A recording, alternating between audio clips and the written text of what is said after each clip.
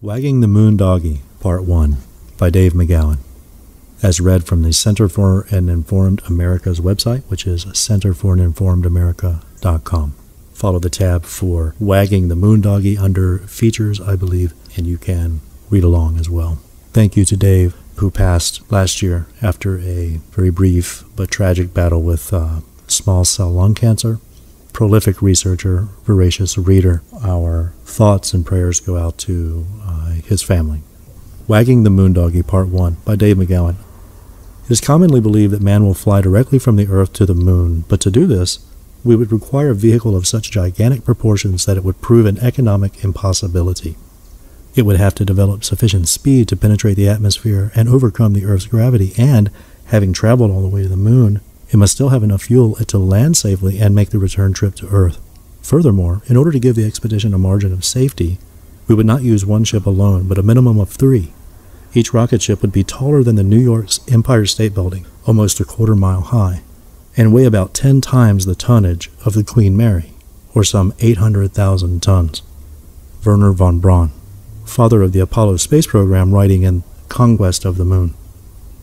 I can see all of you scratching your heads out there, and I know exactly what it is you're thinking. Why are we taking this detour to the moon? It all began a few months ago when I became very busy at my day job, as well as with family drama, with what turned out to be a very time consuming side project, all of which made it increasingly difficult for me to carve out chunks of time to work on the remaining chapters in the Laurel Canyon series. Over the next two months or so, I pretty much lost all momentum and soon found it hard to motivate myself to write, even when I could find the time. That happens sometimes. Though it sounds rather cliche, writer's block is a very real phenomenon. There are many times when I can sit down at the keyboard and the words just flow out of my head faster than I can get them down on the page. But there are also times when producing just one halfway decent sentence seems to be a near impossible task. This was one of those times. I found a new source of inspiration, however, when my wife emailed me the recent story of a fake Dutch moon rock, which I and many others found quite amusing and which also reminded me that I had a lot of other bits and pieces of information concerning the Apollo project that I had collected over the nine years that have passed since I first wrote about the alleged moon landing. After taking a first look back in 2000, I was pretty well convinced that the landings were in fact faked, but it was perfectly obvious that the rather short, mostly tongue in cheek post that I put up back in July of 2000 was not going to convince anyone else of that. So I contemplated taking a more comprehensive look at the Apollo program toward that end, I pulled up my original Apollo post, along with various other bits and pieces scattered throughout past newsletters, threw in all the newer material that I've never made it onto my website, and then combed the internet for additional information. Doing so, I realized that a far better case could be made than what I had previously offered to readers. I also realized that a far better case could be made than was currently available on the net. I was rather surprised, actually, by how little there is out there a couple of books by Bill Kaysing and Ralph Rene, a smattering of websites, and a variety of YouTube videos of varying quality. Virtually all of the websites and videos tend to stick to the same ground covered by Kaysing and Rene, and they almost all use the same NASA photographs to argue the same points. So too do the sites devoted to debunking the notion that the landings were faked, and those sites seem to actually outnumber the hoax sites. While suffering through the numbing uniformity of the various websites at both sides of the aisle, it became perfectly clear that the hoax side of the debate was in serious need of a fresh approach and some new insights. So I began writing again. And, truth be told, while the Apollo story may initially appear to be a radical departure from the ongoing Laurel Canyon series, it actually isn't much of a detour at all. After all, we're still going to be living in the 60s and 70s, and to a significant degree, we're probably still going to be hanging out in Laurel Canyon, because who else, after all, was NASA going to trust to handle the post production work on all that Apollo footage, if not Lookout Mountain Laboratory? I am very well aware, by the way, that there are many, many people out there, even many of the people who have seen through the other tall tales told by our government, who think the moon hoax theorists are complete kooks. And a whole lot of coordinated effort has gone into casting them as such. That makes wading into the moon hoax debate a potentially dangerous affair. Remember when Luther, played by Don Knotts, gets taken to court and sued for slander in The Ghost and Mr. Chicken? And don't try to pretend like you've never seen it, because we both know that you have. He goes into the court and a character witness is called, and the guy delivers credible testimony favoring Luther, and it's clear that the courtroom is impressed and everything is looking good for our nebbish hero, Luther. Remember what happens next, though. On cross examination, the witness reveals that he is the president of a UFO club that holds their meetings on Mars. The courtroom, of course, erupts with laughter, and all of that formerly credible testimony immediately flies right out the window. I've already received emails warning that I will suffer a similar fate from people who heard me discussing the topic on Maria Heller's radio show. Not to worry, though, I have somewhat of an advantage over others who have attempted to travel this path. I don't really care. My mission is to ferret out the truth wherever it may lie. If at various points along the way some folks are offended and others question my sanity, that's not really something I lose a lot of sleep over. Anyway, a whole lot of people are extremely reluctant to give up their belief in the success of the Apollo missions. A lot of people, in fact, pretty much shut down at the mere mention of the moon landings being faked, refusing to even consider the possibility. And yet there are some among the true believers who will allow that, though they firmly believe that we did indeed land on the moon, they would have understood if it had been a hoax. Given the climate of the times, with the Cold War tensions simmering and anxious Americans looking for some sign that their country was still dominant and not technologically inferior to the Soviets, it could be excused if NASA had duped the world. Such sentiments made me realize that the moon landing lie is somewhat unique among the big lies told to the American people in that it was, in the grand scheme of things, a relatively benign lie, and one that could be easily spun.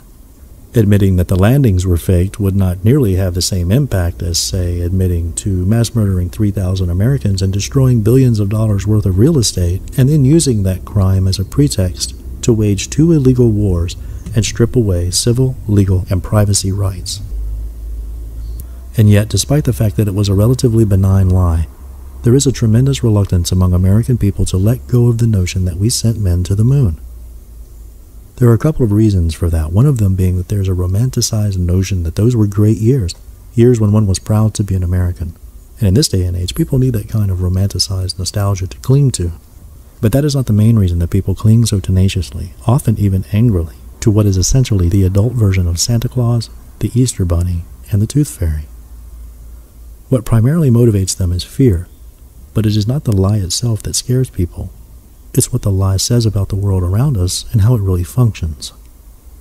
For if NASA was able to pull off such an outrageous hoax before the entire world and then keep that lie in place for four decades, what does that say about the control of the information we receive? What does that say about the media, the scientific community, the educational community, and all of the other institutions we depend on to tell us the truth? What does that say about the very nature of the world we live in?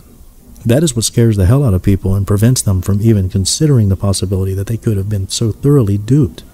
It's not about being lied to about the moon landings that people have a problem with. It's the realization that comes with that revelation. If they could lie about that, they could lie about anything.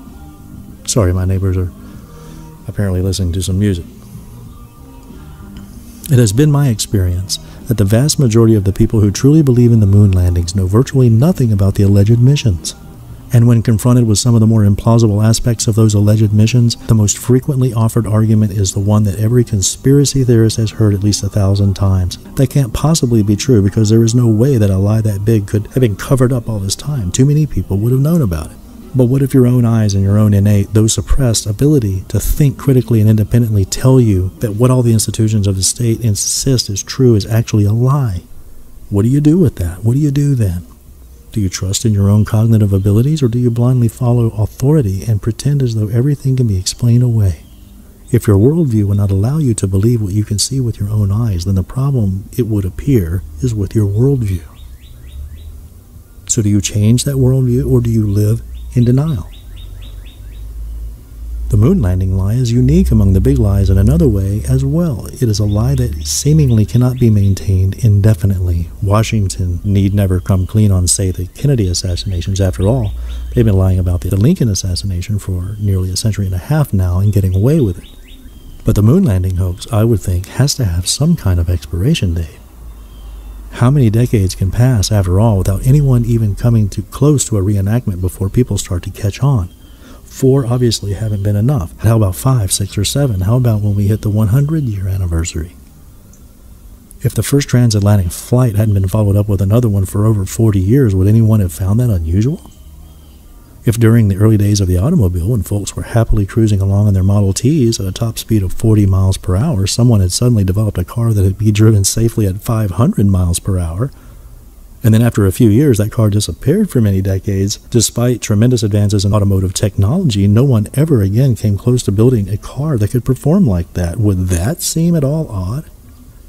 There are indications that this lie does indeed have a shelf life. According to a July 17, 2009 post on CNN.com, quote, it's been 37 years since the last Apollo moon mission, and tens of millions of young Americans have no memories of watching the moon landings live. A 2005 2006 poll by Marilyn Dittmar, a space consultant based in Houston, Texas, found more than a quarter of Americans 18 to 25 expressed some doubt that humans set foot on the moon. The goal of any dissident writer is to crack open the doors of perception, enough to let a little light in so that hopefully the seeds of a political reawakening can be planted. There are many doors that can be pried open to achieve that goal, but this one seems particularly vulnerable. Join me then as we take a little trip to the moon or at least pretend to. NASA had really wanted to fake the moon landings, we're talking purely hypothetical here. The timing was certainly right. The advent of television, having reached worldwide critical mass only years prior to the moon landing, would prove instrumental to the fraud's success. Wired magazine. Adolf Hitler knew a little bit about the fine art of lying. In Mein Kampf, he wrote that if you're going to tell a lie, make sure it's a really big lie. Truth be told, I'm not exactly conversant in the German language, so that might not be an exact translation, but it certainly captures the gist of what the future Fuhrer was trying to say. He went on to explain that this was so because everyone in their everyday life tells little lies, and so they fully expect others to do so as well. But most people do not expect anyone to tell a real whopper. You know, the kind of brazen, outlandish lie that is just too absurd to actually be a lie. The kind of lie that is so over the top that no one would ever dare utter if it was in fact a lie. You know, this type of lie, according to Hitler, will fool the great masses of people, even when the lie is so transparently thin that it couldn't possibly stand up to any kind of critical analysis by anyone actually exercising their brain rather than just blindly accepting the legitimacy of the information they're fed. For example, the rather fanciful notion that the United States landed men on the moon in the 1960s and early 1970s. That's the kind of lie we're talking about here, the kind that seems to defy logic and reason and yet has become ingrained in the national psyche to such an extent that it passes for historical fact. And anyone who would dare to question that, quote, historical fact, needless to say, must be stark raving mad. Before proceeding, I should probably mention here that, until relatively recently, if I had heard anyone putting forth the obviously drug addled notion that the moon landings were faked, I would have been among the first to offer the said person a ride down to the grip store. While conducting research into various other topics, however, it has become increasingly apparent that there are almost always a few morsels of truth in every conspiracy theory, no matter how outlandish that theory may initially appear to be. And so, despite my initial skepticism, I was compelled to take a closer look at the Apollo program. The first thing that I discovered was that the Soviet Union, right up until the time that we allegedly landed the first Apollo spacecraft on the moon, was solidly kicking our butts in the space race. It wasn't even close. The Soviets launched the first orbiting satellite, sent the first animal into space, sent the first man into space, performed the first spacewalk, sent the first three man crew into space, was the first nation to have two spacecraft in orbit simultaneously, performed the first unmanned docking maneuver in space, and landed the first unmanned probe on the moon. Everything the U.S. did prior to actually sending a manned spacecraft to the moon had already been done by the Soviets, who were clearly staying at least a step or two ahead of our top notch team of imported Nazi scientists. The smart money was clearly on the Soviets to make it to the moon first, if anyone wants to do so. Their astronauts had logged five times as many hours in space as had ours, and they had a considerable amount of time, money, and scientific talent, and perhaps most of all, national pride riding on that goal. And yet, amazingly enough, despite the incredibly long odds, the underdog Americans made it first. And not only did we make it first, but after a full 40 years, the Soviets apparently still haven't quite figured out how we did it. The question that is clearly begged here is a simple one. Why is it that the nation that was the leading in the field of space travel not only didn't make it to the moon back in the 60s, but still to this day have never made it? Could it be that they were just really poor losers? In truth, the entire space program has largely been, from its inception, little more than an elaborate cover for the research, development, and deployment of space based weaponry and surveillance systems. The media never talk about such things, of course, but government documents make clear that the goals being pursued through space research are largely military in nature. For this reason alone, it's inconceivable that the Soviets would not have followed the Americans onto the moon for the sake of their own national defense. It's not just the Soviets, of course, who have never made it to the moon. The Chinese haven't either, nor have any other industrial nation. Despite rather obvious fact that every such nation on the planet now possesses technology that is light years beyond what was available to NASA scientists in 1960. Some readers will recall, and young readers might want to cover their eyes and ears here because the information to follow is quite shocking. In the 1960s, a full complement of home electronics consisted of a fuzzy 13 channel black and white television set with a rotary tuning dial, rabbit ears, and no remote. Such cutting edge technology as the pocket calculator was still five years away from hitting the consumer market. It is perfectly obvious, of course, that it was not consumer electronics that allegedly sent man to the moon. The point here, though, is that advances in aerospace technology mirror advances in consumer technology. And just as there has been a revolutionary change in entertainment and communications technology, so too has aerospace technology advanced by light years in the last four decades. Technologically speaking, the NASA scientists working on the Apollo project were working in the dark ages. So if they could pull it off back then, then just about anyone should be able to do it now. It would be particularly easy, needless to say, for America to do it again. Since we've already done all that research and development and testing, why then, I wonder, have we not returned to the moon since the last Apollo flight? Following the alleged landings, there was a considerable talk of establishing a space station on the moon, and of possibly even colonizing Earth's satellite. Yet all such talk was quickly dropped and soon forgotten. And for nearly four decades now, not a single human has been to the moon. Again, the question that immediately comes to mind is why? Why has no nation ever duplicated or even attempted to duplicate this miraculous feat? Why has no other nation even sent a manned spacecraft to orbit the moon? Why has no other nation ever attempted to send a manned spacecraft anywhere beyond low Earth orbit? Is it because we already learned everything that was to learn about the moon? If so, it could reasonably be argued that it would be possible to make six random landings on the surface of the Earth and come away with a complete and thorough understanding of this heavenly body? Are we to believe that the international scientific community has no questions that could be answered by a return trip to the moon? Is there no military advantage to be gained by sending men to the moon? Has man's keen interest in exploring celestial bodies, evident throughout recorded history, suddenly gone into remission? Maybe you say it's just too expensive, but the 60s were not a particularly prosperous time in U.S. history, and we were engaged in an expensive Cold War throughout the decade as well as an even more expensive hot war in Southeast Asia. And yet we still managed to finance no less than seven manned missions to the moon, using a new, disposable, multi-section spacecraft each time. And yet in the four decades since, we are apparently supposed to believe that no other nation has been able to afford to do it even once.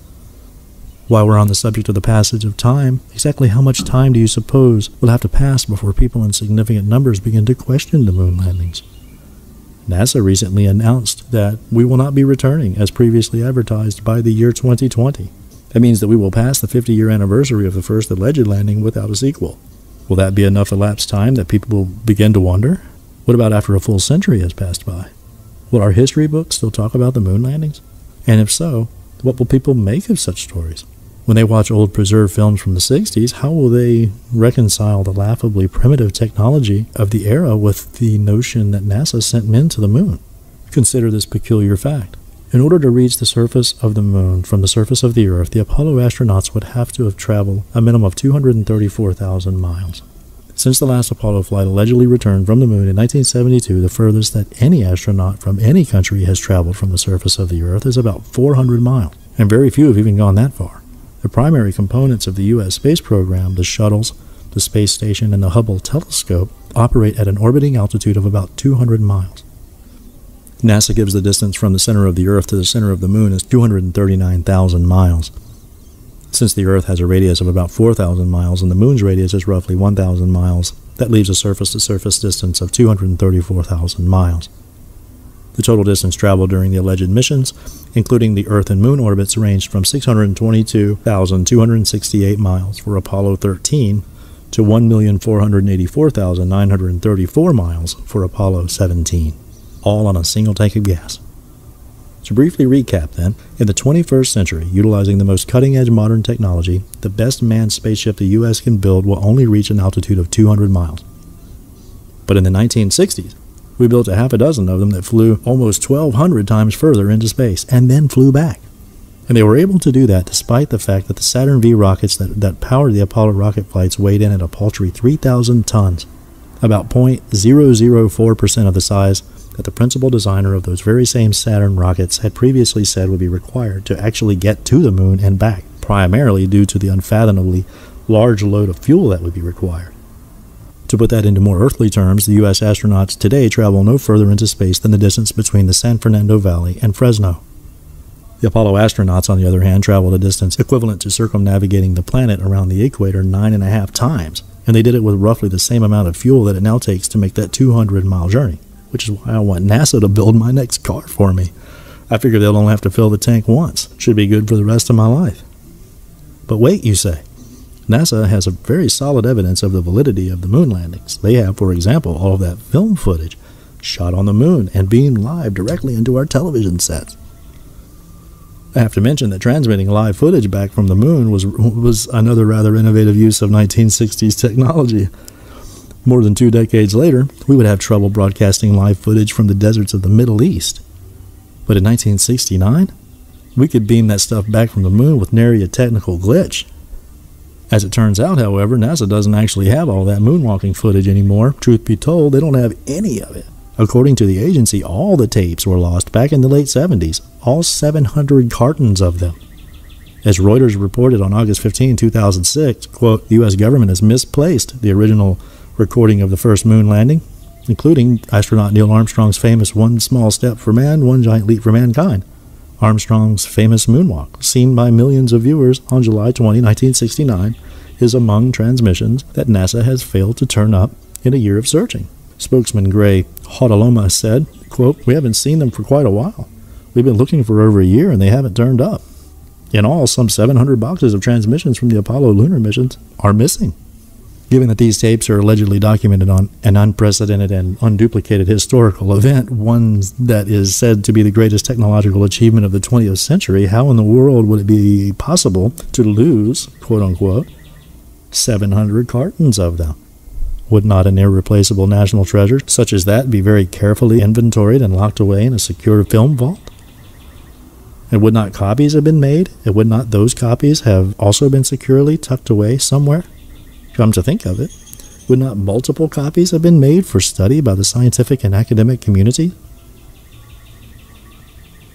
Had NASA claimed that a few tapes, or even a few cartons of tapes, had been misplaced, then maybe we could give them the benefit of the doubt. But perhaps some careless NASA employee, for example, absent mindedly taped a Super Bowl over one of them. Does it really seem at all credible to claim that the entire collection of tapes has gone missing? All 700 cartons of them? The entire film record of the alleged moon landings? Some of you are probably thinking that everyone has seen the footage anyway when it was actually broadcast live back in the 60s and 70s. We're on NASA's website, we're on YouTube, or numerous television documentaries, but you would be mistaken. The truth is is that the original footage has never been aired, anytime, anywhere. And now, since the tapes seem to have conveniently gone missing, it quite obviously never will be. The fact that the tapes are missing, according to NASA, have been for over three decades, amazingly enough, was not even the most compelling information that the Reuters article had to offer. Also to be found was an explanation of how the alleged moonwalk tapes that we all know and love were created because NASA's equipment was not compatible with TV technology of the day the original transmissions had to be displayed on a monitor and reshot by a TV camera for broadcast. So, what we saw then, and what we have seen in all the footage ever released by NASA since then, were not in fact live transmissions. To the contrary, it was footage shot off a television monitor and a tiny black and white monitor at that. That monitor may have been running live footage, I suppose, but it seems far more likely that it was running taped footage.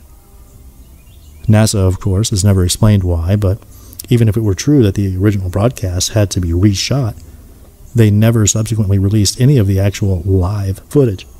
So I guess that's a moot point now with the tapes having gone missing.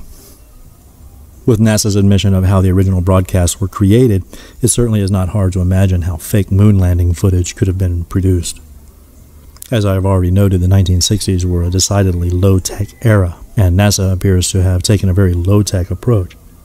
As moon landing skeptics have duly noted, if the broadcast tapes are played back at roughly twice their normal running speed, the astronauts appear to move about in ways entirely consistent with the way ordinarily humans move right here on the Earth.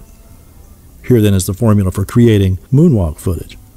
Take footage of guys in ridiculous costumes moving around awkwardly right here on our home planet, broadcast it over a tiny low resolution television monitor at about half speed, then refilm it with a camera focused on that screen. The end result will be broadcast ready tapes that, in addition to having that all important, grainy, ghosty, rather surreal broadcast from the moon look, also appears to show the astronauts moving about in entirely unnatural ways. But not, it should be noted, too unnatural. And doesn't that seem a little odd as well? If we're being honest here, and for my testosterone producing readers, this one is directed at you, the average male specimen, whether astronaut or plumber, never really grows up and stops being a little boy. And what guy, given the once in a lifetime opportunity to spend some time in a reduced gravity environment, isn't going to want to see how high we can jump? Or how far we can jump? Hitting a golf ball? Who the hell wants to see that? How about tossing a football for a 200 yard touchdown pass? Or how about the boys dazzling the viewing audience with some otherworldly acrobatics? And yes, Neil and the guys did exhibit some playfulness at times while allegedly walking on the moon, but doesn't it seem a bit odd that they failed to do anything that couldn't be faked simply by changing the tape speed? When I attended a college, I knew a guy on the volleyball team who had a 32 inch vertical leap right here on Earth. So when I see guys jumping maybe 12 inches, if that, in a 1 6 gravity environment with no air resistance, I'm not really all that impressed. Am I the only one, by the way, who finds it odd that people would move in slow motion on the moon? Why would a reduced gravitational pull cause everything to move so much more slowly, given the fact that they were much lighter on their feet and not subject to air and wind resistance? Shouldn't the astronauts have been able to move quicker on the moon than here on Earth? Was slow motion the only thing NASA could come up with to give the video footage an otherworldly feel? Needless to say, if what has been proposed here is indeed how the moon landing footage in the public domain was created, then highly incriminating original footage, which would have looked like any other footage shot here on Earth except for the silly costumes and props, would have to have been destroyed. Because it's not surprising that NASA now takes the position that the original footage has been missing since sometime in the late 1970s. Unfortunately, it isn't just the video footage that's missing. Also, allegedly beamed back from the moon was voice data, biomedical monitoring data, and telemetry data to monitor the location and mechanical functioning of the spaceship. All of that data, the entire alleged record of the moon landings, was on the 13,000 plus reels that are said to be missing. Also missing, according to NASA and its various subcontractors, are the original plans and blueprints for the lunar modules and for the lunar rovers and for the entire multi-section Saturn V rockets.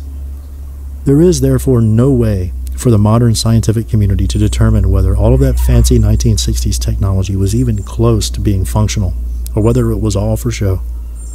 Nor is there any way to review the physical records, so to speak, of the alleged flights. We cannot, for example, check the fuel consumption throughout the flights to determine what kind of magic trick NASA used to get the boys there and back with less than 1% of the required fuel and we will never, it would appear, see the original first generation video footage.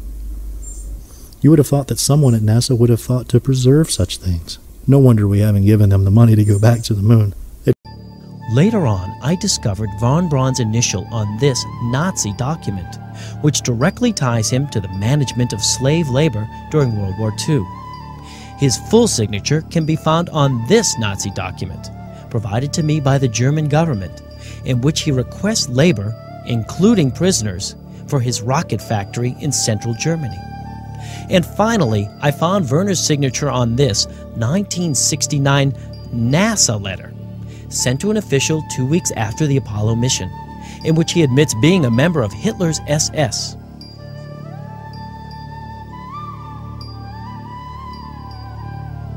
And to quote him, I would appreciate it if you kept this information to yourself, as I think it could only harm my work at NASA if all this were given undue publicity. Being the Moondoggie Part 2 by David McGowan. Well, you now say, what about all those cool moon rocks? How did they get those? The moon is, you know, the only source of moon rocks, so doesn't that prove that we went there? No, as a matter of fact, it does not prove that we went there. As odd as that may sound, the moon is not the only source of moon rocks. As it turns out, authentic moon rocks are available right here on Earth, in the form of lunar meteorites. Because the moon lacks a protective atmosphere, you see, it gets smacked around quite a bit, which is why it's heavily cratered. When things smash into it to form those craters, lots of bits and pieces of the moon fly off into space. Some of them end up right here on Earth. By far the best place to find them is in Antarctica, where they are most plentiful and, due to the terrain, relatively easy to find and well preserved. And that is why it is curious that Antarctica just happens to be where a team of Apollo scientists led by Wernher von Braun ventured off to in the summer of 1967, two years before Apollo 11 blasted off. You would think that, with the demanding task of perfecting the hugely complex Saturn V rockets, that von Braun and his cronies at NASA would have had their hands full, but apparently there was something even more important for them to do down in Antarctica. NASA has never offered much of an explanation for the curiously timed expedition. Some skeptics have said that it is possible that moon rocks could have been gathered from the moon with robotic probes. But while it isn't being argued here that unmanned craft haven't reached the moon, it seems virtually inconceivable that any unmanned spacecraft could have landed on and then been brought back from the surface of the moon in the 1960s or 1970s. There's no indication that it can even be done today. It's been more than three decades since anyone has claimed to do it, and that claim by the Soviets is highly suspect. What is known for sure is that even some of the quote debunking websites have, albeit reluctantly, acknowledged that meteorite samples gathered from Antarctica are virtually indistinguishable from NASA's collection of moon rocks. Of course, as we have very recently learned, that is not true of all of NASA's moon rocks. Some of them apparently bear no resemblance at all to lunar meteorites. Instead, they look an awful lot like petrified wood from the Arizona desert. Such was the case with a, quote, moon rock that the Dutch National Museum has been carefully safeguarding for many years now, before discovering, in August of 2009, that they were in reality the proud owners of the most overinsured piece of petrified wood on the planet. The quote moon rock had been a gift to the Dutch from the U.S. State Department, and its authenticity had reportedly been verified through a phone call to NASA. I'm guessing that NASA was probably running low on meteorite fragments and figured the Dutch wouldn't know the difference anyway. Or maybe Washington was a little peeved over the fact that the Dutch newspapers reportedly called NASA's bluff at the time of the first alleged moon landing. And you can see photos of these things, guys, over on the uh, website. I'd recommend go checking that out. This is not to suggest, of course, that all of the moon rocks passed out by NASA and the State Department are obvious fakes. Most, presumably, are of lunar origin, but that doesn't necessarily mean that they were gathered by American astronauts walking on the surface of the moon. They could have just as easily come to Earth as meteorites.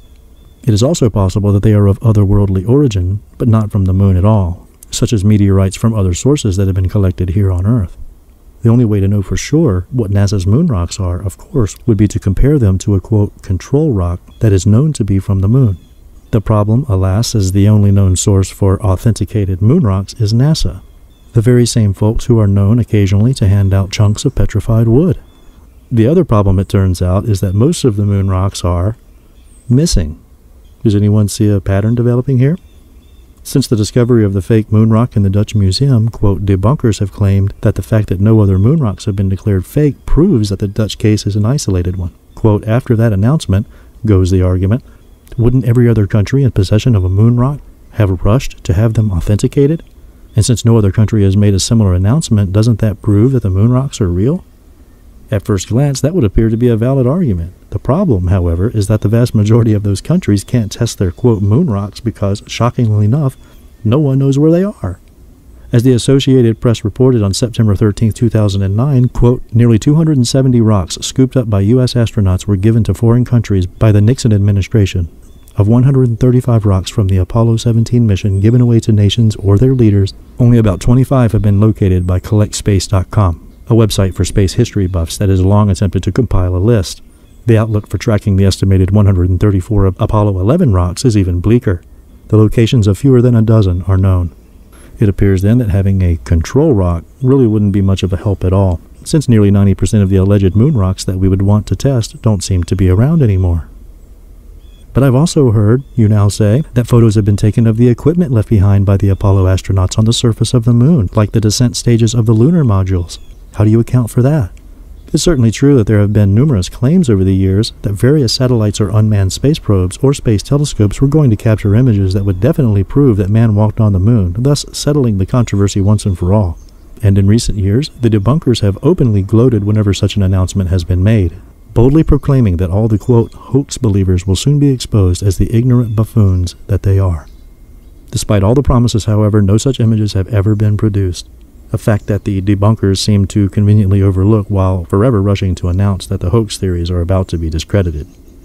For at least two decades now, since the launch of the Hubble Space Telescope, we have been promised dazzling images of the lunar modules sitting on the surface of the moon.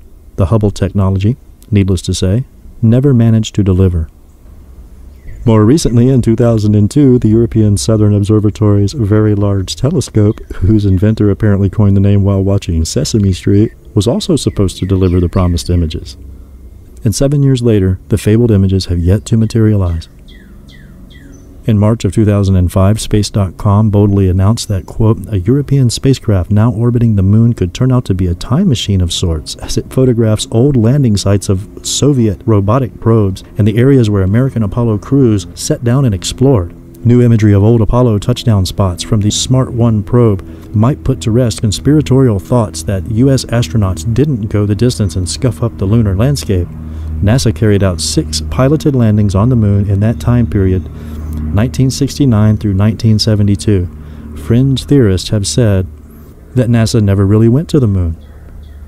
I'm guessing that most, quote, fringe theorists will continue to harbor, quote, conspiratorial thoughts for as long as pompous websites like Space.com continue making arrogant proclamations such as that, and then not following them up with so much as a single image in well over four years. Who knew, by the way, that the European Space Agency had the technology and the budget to send a spacecraft to orbit the moon? Who knew that the Europeans even had a space agency? I wonder, given that they obviously have the technology to send spacecraft to the moon, why haven't they sent any manned missions there? I mean, I would think that it should be fairly easy to send some guys to at least orbit the moon, right? I mean, all they have to do is add a couple of seats to the spacecraft design that they already have. They should be ready to go. Here's another thing that I sometimes wonder about. Why is it that in the 1960s we possessed the advanced technology required to actually land men on the moon? But in the 21st century, we don't even have the technology required to get an unmanned aircraft close enough to the moon to take usable photographs? Or could it be that there's just nothing there to photograph? Just this year, NASA itself boldly announced that its Lunar Reconnaissance Orbiter, or LRO, has returned its first imagery of the Apollo moon landing sites. The pictures show the Apollo mission's lunar module descent stages sitting on the moon's surface as long shadows from low sun angle make the module's locations evident. The LROC team anxiously awaited each image, said LROC principal investigator Mark Robinson of Arizona State University. We were very interested in getting our first peek at the lunar module descent stages just for the thrill, and to see how well the cameras had come into focus. Indeed, the images are fantastic, and so is the focus. Sounds promising, doesn't it? The images, however, hardly live up to the billing. They are, in fact, completely worthless. All they depict are tiny white dots of the lunar surface that could be just about anything that would be barely visible at all without those handy, quote, long shadows from the low sun angle. And the weird thing is about those shadows is that in the very same NASA article it says that, quote, because the sun was so low to the horizon when the images were made, even subtle variations in topography create long shadows, unquote. And yet, while it is perfectly obvious that there are more than just, quote, subtle variations in the lunar topography in the images, and you can see the images on his website,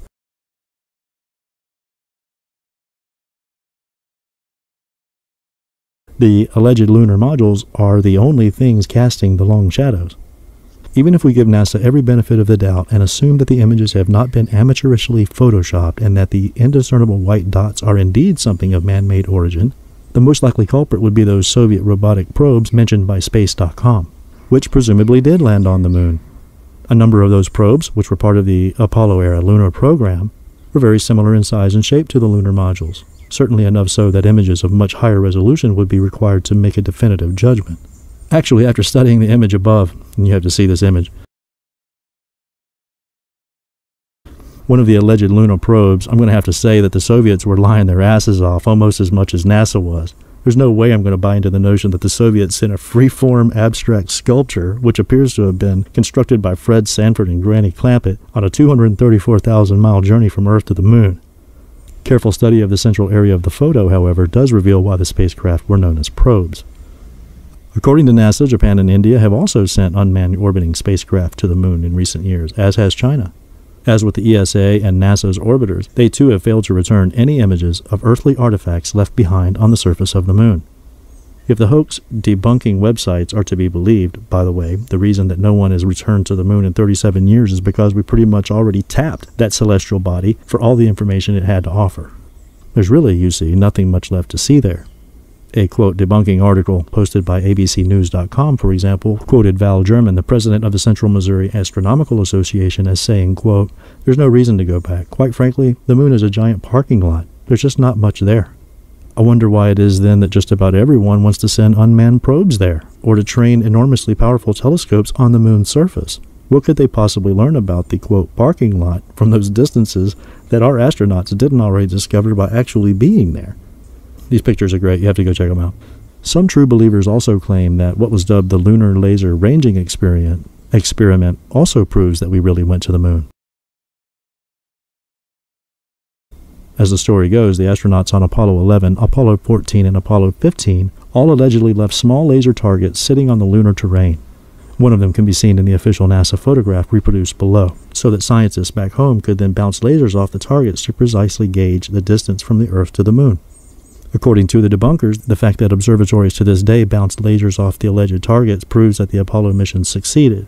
It is perfectly obvious, though, that the targets, if there, could have been placed robotically, most likely by the Soviets. It is also possible that there are no laser targets on the moon.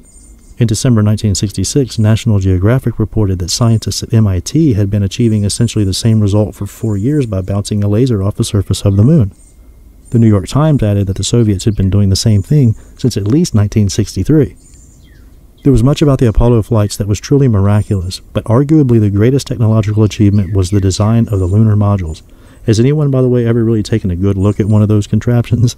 I mean, a detailed up close look? I'm guessing the vast majority of people have not, but luckily we can quickly remedy that situation because I happen to have a really good, high resolution image that comes directly from the good people at NASA.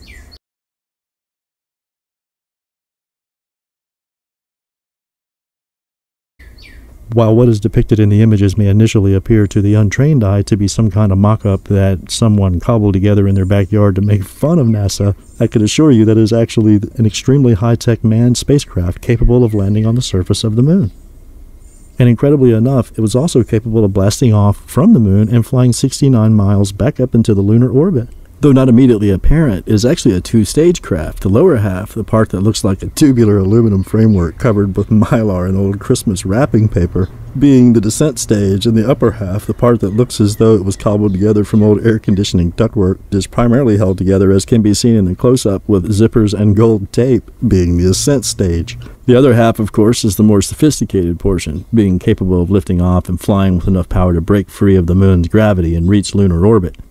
It also, of course, possessed sophisticated enough navigational capabilities for it to locate literally out of the middle of frickin' nowhere the command module that it had to dock with in order to get the astronauts safely back to Earth. It also had to catch that command module, which was orbiting the moon at a leisurely 4,000 miles per hour. But we'll get to all that a little later. I think we can all agree for now that such a sleek, stylish, well designed craft would have no problem flying with that kind of power, precision, and stability. There is one thing that appears to be a problem, though. How did they get everything on board these modules that they were going to need to successfully complete their missions? According to NASA, the modules were, excluding the landing pads, were only about 12 feet in diameter. That is obviously not a whole lot of space to work with. So let's try to think of everything that we would need if we were astronauts venturing off on a little journey to the moon.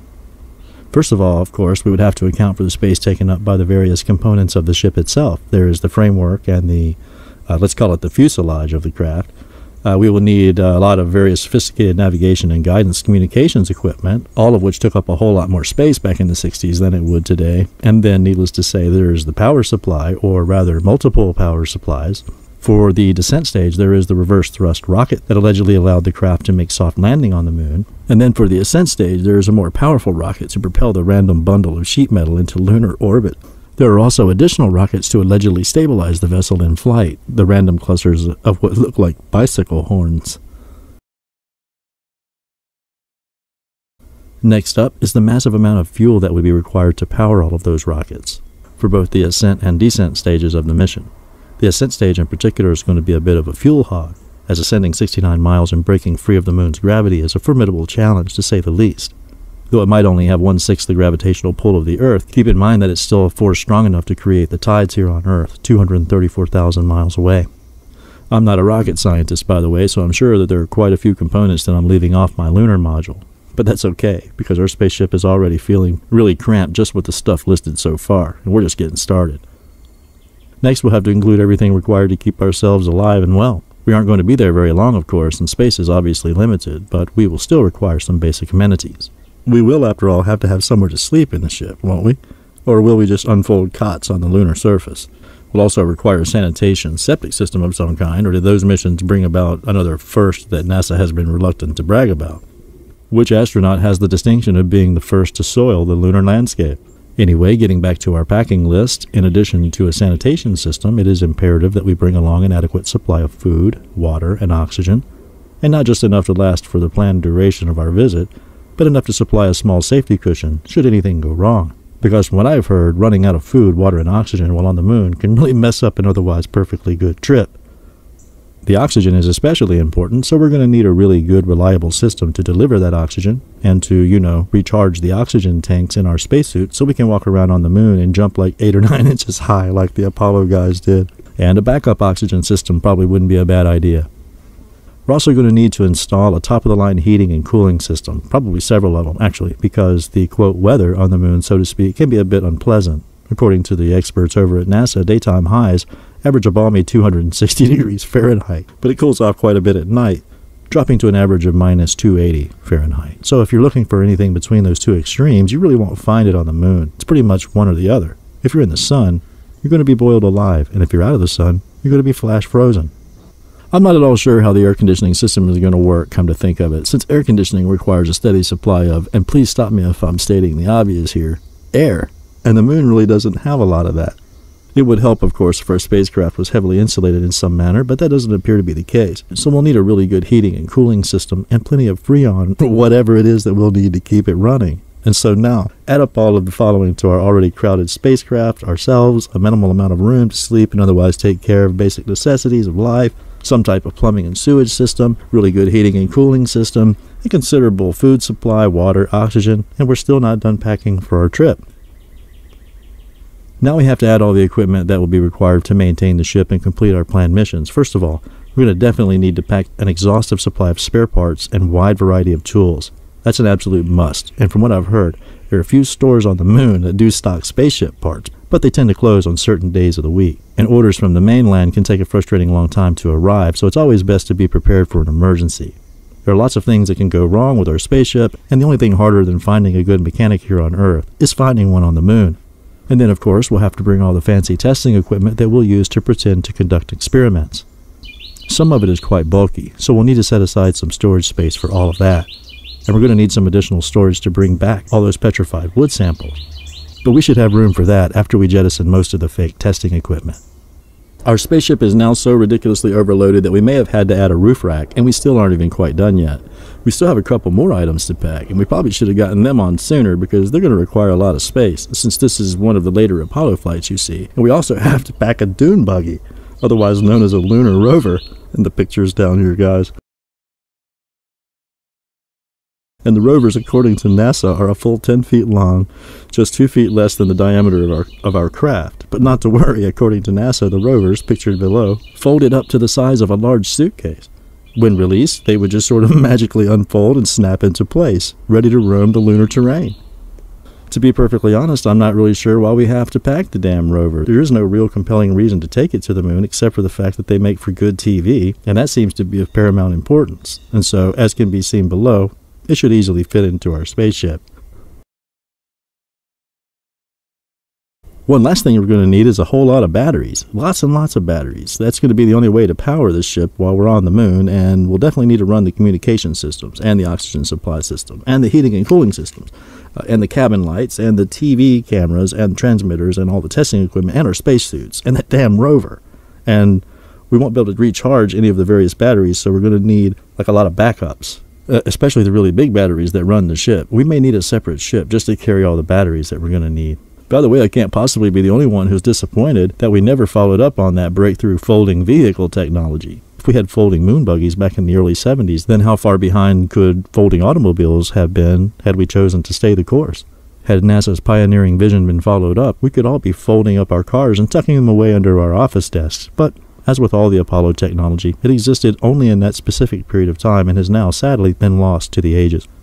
NASA has done something very odd, by the way, with the lunar module that it has on display for museum visitors to marvel at. It has staffed it with miniature astronauts wearing miniature spacesuits. The module may be scaled slightly larger than the real modules that allegedly landed on the moon. I wonder why they would do that. I'm pretty sure that Buzz and Neil were of normal stature. So the only reason that I could think that they would use miniature astronauts would be to portray the modules as larger than what they actually were, and in better condition too. Did they pick up the ones they sent to the moon at a used car lot? Before moving on, I need to emphasize here just how sophisticated the lunar modules actually were. These remarkable spacecraft, and I understandably get a little choked up here talking about this because I'm just so damn proud of our team of Nazi scientists, managed to make six perfect takeoffs from the surface of the moon. And understand here, people, that they did that amazingly enough with completely untested technology. We can't duplicate the conditions on the moon here at home, you see, or even provide a rough approximation. And since no one had ever been to the moon, they didn't exactly know what to replicate anyway, so this part of the mission was pretty much of a crapshoot. Conditions on the moon are, to say the least, a bit different than here on Earth. The gravitational pull is only about one sixth of what it is here. And then there is that whole lack of atmosphere thing, and the decidedly unearthly temperatures. And then, of course, there are high levels of space radiation. I'm quite sure that we had the best minds available working on the Apollo project, but none of them could have accurately predicted and compensated for how all those unearthly conditions would combine to affect the flight potential of the lunar modules. So the ability of the modules to actually blast off from the moon and fly was, at best, a theoretical concept. It is also important to remember that, unlike the initial blastoff from Earth, seen above, which involved the collective efforts of thousands of people and the use of all types of peripheral equipment, the astronauts taking off from the moon only had themselves and a strange vessel that looked like it had been salvaged from the set of Lost in Space. What would you be thinking, by the way, if you suddenly found yourself on the surface of the moon with what looked like a cheap movie prop as your only way home? Would you feel comfortable hanging around for a few days doing experiments, confident that when the time came, the untested contraption behind you would actually get you back home from the moon? Or would the words bad career choice be running through your head? But as it turns out, America kicked ass back then, and those lunar modules performed like champions every single time. They didn't even need modifications. Despite the completely foreign environment, they worked perfectly, the first time, every time thereafter. On Earth, it took many long years of trial and error, many failed test flights, many unfortunate accidents, and many, many trips back to the drawing board before we could safely and reliably launch men into low Earth orbit. But on the moon? We nailed that shit the very first time. Today, of course, we can't even launch a space shuttle from right here on the planet without occasionally blowing one up, even though we have lowered our sights considerably. After all, sending spacecraft into low Earth orbit is considerably easier than sending spacecraft all the way to the friggin' moon and back. It would appear then that we can draw the following conclusion. Although technology has advanced immeasurably since the first Apollo moon landing, and we have significantly downgraded our goals in space, we can't come close to matching the kick ass safety record we had in the Apollo days. The thing is that back in the frontier days, we didn't need all that fancy technology and book learning to send Buzz and the boys to the moon and back. But then, back then we had that American can do spirit. We just cowboyed up and MacGyvered those spaceships to the moon. All we needed was an old Volkswagen engine, some duct tape, and a roll of baling wire. Throw a little toilet paper and tang on board and you're good to go. How about the speed with which we cranked out those Apollo spacecraft? Once we figured out how to make them, we were stamping them out like Coke cans. We fired off seven of them in just under three and a half years, or about one every six months. Given the extreme complexity of those vessels and the fact that every component had to perform flawlessly under largely unknown conditions, that's a pretty impressive production schedule. America, I think it's safe to say, totally rocked back then. And that's the end of part two of Wagging the Moondoggie by David McGowan. Follow the links over in the blog post or uh, head over to centerforinformedamerica.com and head down to the Moondoggie tab and check it out. Go support Dave and his family with a purchase of a book or a donation. And thank you for joining me. Catch you next time. And then for the ascent stage, there's a more powerful rocket to propel the random bundle.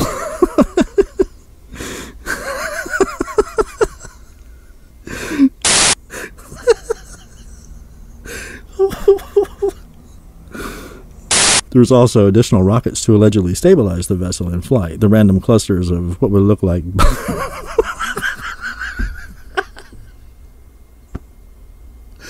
oh, oh, man. I'm not at all sure how the air conditioning system is going to work, come to think of it, since air conditioning requires a steady supply of, and please stop me if I'm stating the.